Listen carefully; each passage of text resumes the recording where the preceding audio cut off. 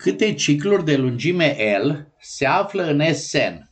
Uitați ce înseamnă. Dacă e o permutare sigma aparținând lui Sn, da? Ce înseamnă un ciclu de lungime L? Înseamnă așa că ai la un moment dat un I1, da? Care se duce în I2, I2 se duce în I3 și așa mai departe, I indice L ăsta se duce în I1 și restul nu mai știu ce se întâmplă, da?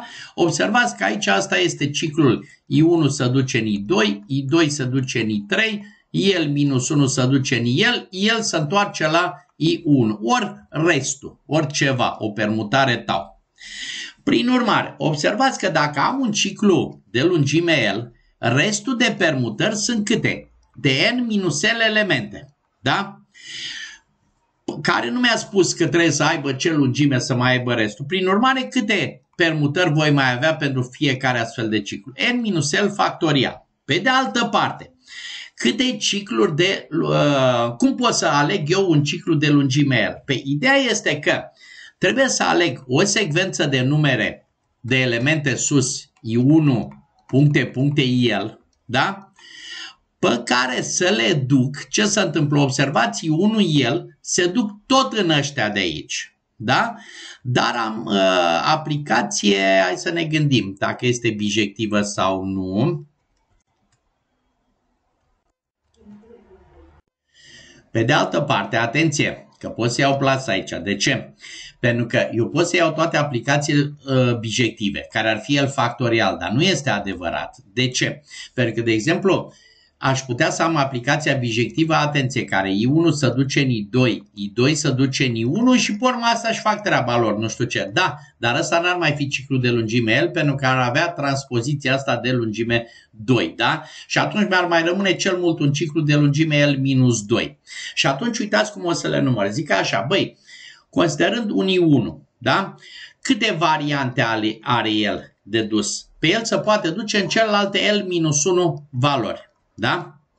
Îl iau pe I2. În cât, câte variante are el? Păi, el, ă, că I1 în I1 dacă se ducea era punct fix și atunci mai rămânea el minus 1 cel mult ciclu. Da, I2 nu se poate duce în I1 care genera transpoziție, nu se poate duce nici în I2. Deci el se duce în el minus 2 cazuri. Și așa mai departe, până la IL minus 1 care sunt obligați să se ducă în 1 cazuri, adică în el și el este forțat în 1.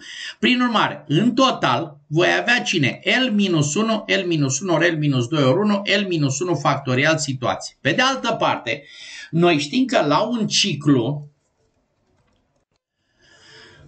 de asemenea, atenție, uh, noi știm că într-un ciclu, da, dacă avem un ciclu I1, I2, el, el este egal cu ciclul I2, I3 și așa mai departe, IL, IL I1 și așa mai departe. Da? Deci prin permutările circulare.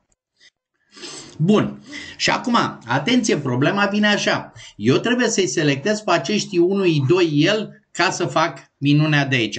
În câte moduri pot să selectez eu cele L elemente din mulțimea mea de n elemente, că sunt în Sn în combinări de n luate câte el. Atenție, ce înseamnă asta? Că eu aleg în câte moduri pot să aleg mulțimea indicilor I1 el din mulțimea indicilor, din mulțimea numerelor naturale 1 până la n Bun, în atâtea moduri. Acum, ca să nu mă complic cu chestia asta cu permutările circulare, atenție! Păi știm că deoarece într-o mulțime nu contează ordinea elementelor, voi presupune că I1, I2, mai, 1 e mai mic ca 2 mai mic ca puncte, puncte, el în această mulțime. Pentru că altfel ar fi vorba de aranjamente pe care ar trebui să le împar la el și e același lucru, da? Uh, ca să, din cauza permutărilor circulare. Și atunci, iată, că voi avea în total combinări pentru fiecare astfel de submulțime, ordonez crescător, după care aplic această uh, variantă. Deci în total voi avea combinări de n luate câte r ori l minus 1 factorial cicluri. Acum, atenție, problema nu este foarte clar dacă îmi cere ciclurile sau dacă mi-ar fi cerut permutările. Dacă îmi cerea și permutările care conțin un ciclu de lungime L, atunci înmulțeam și cu n minus L factorial restul de permutări care rămâneau acolo, da? Deci în total asta. De exemplu, uite, în S4, dacă vreau ciclul de lungime 3, mai am o, o problemă propusă de cu treaba aceasta, că, uitați, în acel moment avem combinări de 4 luate câte 3 ori 3 minus 1 ori 2 factorial, cât face? Stai combinări de 4 luate câte 1, 4 ori 2 egal cu 8 și regăsesc răspunsul acolo. De exemplu, dacă vreau transpozițiile, transpozițiile sunt cicluri de lungime 2, aș avea combinări de n luate câte 2 ori 2 minus 1 care înseamnă ori 1 factorial, deci este n ori n minus 1 pe 2. Și într-adevăr, de ce? Pentru că ce înseamnă o transpoziție? Înseamnă o pereche IJ în care I se duce în J, J se duce în I. Deci, practic, eu ce trebuie să fac? Să iau toate submulțimi, pot să presupun că I mai mic ca J din cauza simetriei, să caut toate submulțimile cu două elemente care se pot forma cu o mulțime mare de N elemente. Câte sunt? Combinări de N luate câte două. Da? Și cu aceasta am încheiat problema.